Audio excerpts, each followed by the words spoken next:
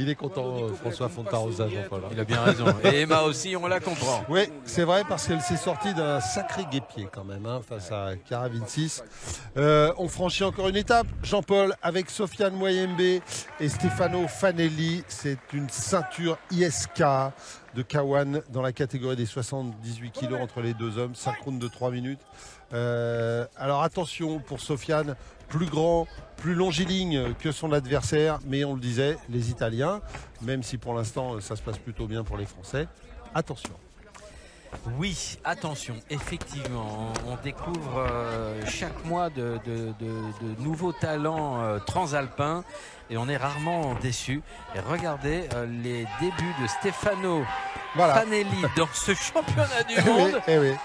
Euh, c'est quelque chose, hein, tout de suite. hein. Ouais, d'autant que du côté de, de Sofiane, euh, il reste sur une défaite face à Edouard Mircea, euh, c'était au mois d'avril la- l'année dernière.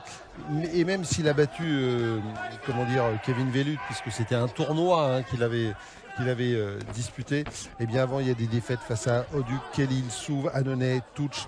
Enfin voilà, ça fait, ça fait beaucoup, beaucoup, beaucoup de. de Oui, d'ailleurs, on se demande voilà. même comment euh, l'ISK peut dire. proposer un championnat du monde à un, à un boxeur, même si on en pense beaucoup de bien, évidemment, euh, de Sofiane, on l'aime bien.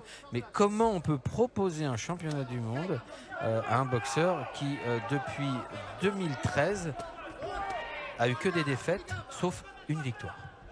Moi, je. Voilà. bon, c'est- ça participe de ce que l'on disait tout à l'heure. Exactement. La- le problème euh, de reconnaissance de nos sports, euh, il est évident que le grand public ne Voilà. peut pas s'y retrouver. Avec, un euh, Sofiane qui n'apparaît surtout pas non plus dans le classement. Euh, absolument pas. dans le, le- Donc, le classement des infos du fight, de- Alors, de, il, de Fight Info. il- est dans le classement ISK, oui, d'accord, et ça n'a aucun sens. Ouais. Ça n'a aucun sens et c'est dommage. Et, et surtout que l'on voit là, on voit bien. Regardez, ce que, Ouais. regardez Stefano Fanelli à cette place, à sa place dans ce championnat du monde, mais euh, Sofiane Ouais, il est est coincé depuis euh, le début du combat dans le coin euh, et, euh, et il, ne, il ne bouge pas. Il est complètement dominé, asphyxié Ah oui, même oui, par euh. Fanelli, euh, qui n'attend que le moment propice pour l'exécuter a priori. Ouais, puis alors il enchaîne bien. hein. Crochet du droit, euh, low kick du gauche, crochet du gauche, low kick du droit. Ah il ouais. n'oublie rien. Bah, dès qu'il bouge sur la gauche, euh, il prend le crochet du droit. Dès qu'il bouge sur la droite, il prend le low kick gauche. Euh, donc euh, voilà. La, la messe devrait être bientôt dite. Très honnêtement, je vois Jean-Paul, pas comment ça peut s'arranger. Ouais, puis il, il- il n'a pas l'attitude d'un Dejmari, hein, Stefano Fanelli, c'est-à-dire qu'on a vu tout à l'heure hein, face à face à Yashin Satou. Visiblement, il n'a pas 40 dans les dans les jambes. hein, euh, Stefano Fanelli.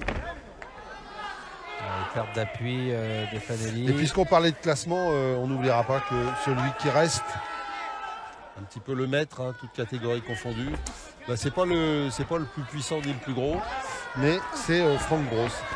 57 kilos. Ah oui, qui, qui domine ce classement. Fight Info, Voilà. qui reste qui reste vraiment au top de ce de ce classement. Et puis euh, on retiendra dans les 73 Wilson Varela aussi qui a fait une grosse grosse saison. Oui, hein, très très belle saison, tout à fait. Euh,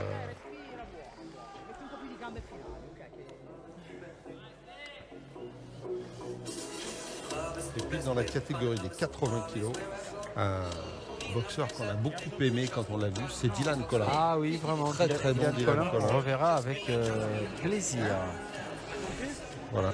Et puis un petit mot aussi euh, particulier pour un boxeur qu'on a suivi un petit peu cette saison et qui nous a bien fait plaisir et qui a fait de bien beaux combats, c'est Romain Falandry dans les 86 kilos. Euh, voilà, c'est vrai que Romain, euh, on l'a vu deux ou trois fois cette saison, il a fait des, des- des très très beaux combats. Et vraiment, il s'est remis euh, sur la marche avant, euh, Romain, et on était content pour lui, vraiment. C'est un, un boxeur euh, sympa qu'on aime bien. Enfin, ils sont tous sympas d'ailleurs, il y en a beaucoup de. Mais lui, on l'aime bien, c'est vrai. Deuxième reprise entre Stefano Fanelli et euh, Sofiane Moyembe. Moyembe, short bleu, bien évidemment. Oh là là, Fanelli, il a une droite. Ah non, mais, on sent bien que Sofiane ne, ne- ne- ne peut pas encaisser euh, des, coups durs comme ça. Ça, ça va pas pouvoir durer euh, trop longtemps pour, euh, pour Sofiane. Alors bon, en même temps, quand on voit avec qui il se prépare, Fanelli, hein, Zubko, qui est un boxeur du, Glory, Yermano, qui lui aussi a, été, testé au Glory. Donc voilà, il y a du beau monde hein, dans, son, dans son team à Lazio. Ouais, la qualité d'entraînement, évidemment. Alors, on espère que Sofiane va pouvoir euh, réagir comme il vient de le faire. euh, qu'il euh, voilà, il a décidé de se mettre à l'abri au début, laisser passer l'orage. Pourquoi pas? Mais difficile. hein, c'est, ça paraît douteux quand même, vu, vu la puissance de l'Italien en face et le peu de réponse euh, du Français. Même si là, regardez, il se réveille, Sofiane. Mieux. Bon, bon, bon. Et ça fait mal. hein, Ouais, ça, fait mal, oui, on voit bien. On se sent quand même un peu à la, à la dérive. hein. Oh là là. Oh, oh la jambe, là, la jambe, plié, la jambe, il a oui, il va être compté. Ouais. On a vu la jambe qui a plié, Ah Jean-Paul. non, c'est fini. Si c'est la jambe, il ne reviendra pas. Et puis on voit à son regard dans le coin.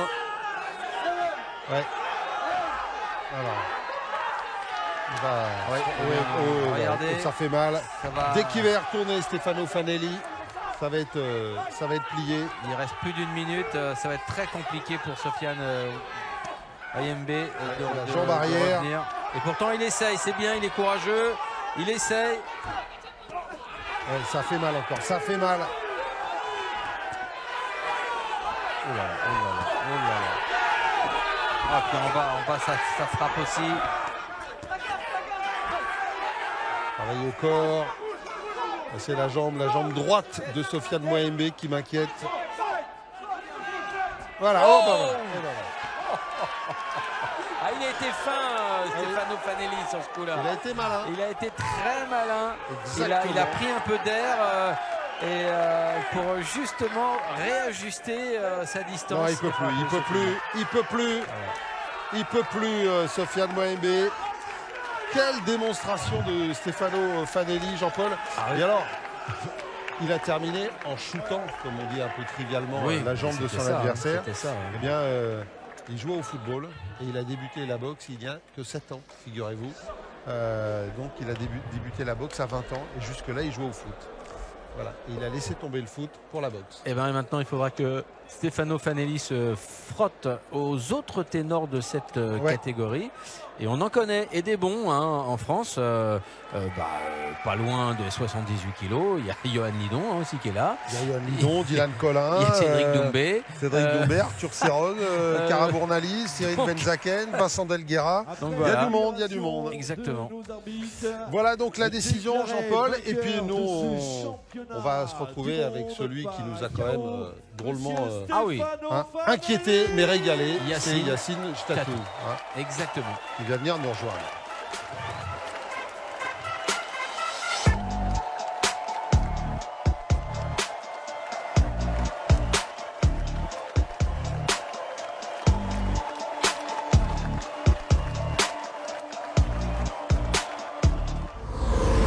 Et puis Jean-Paul, il faudra retenir. Alors, la petite déception de la soirée, c'est euh, Sofiane. Euh, les jambes n'ont pas tenu face à un Italien plutôt brillant quand même, Fanelli.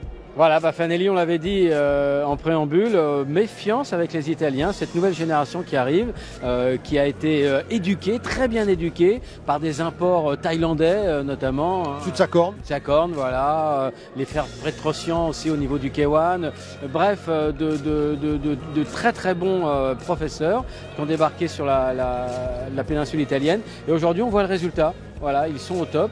Et euh, on ne savait pas exactement d'où venait ce Fanelli. Bah maintenant, euh, tout le monde va se méfier de lui, ça c'est certain. Et puis Emma Gongora qui a réussi à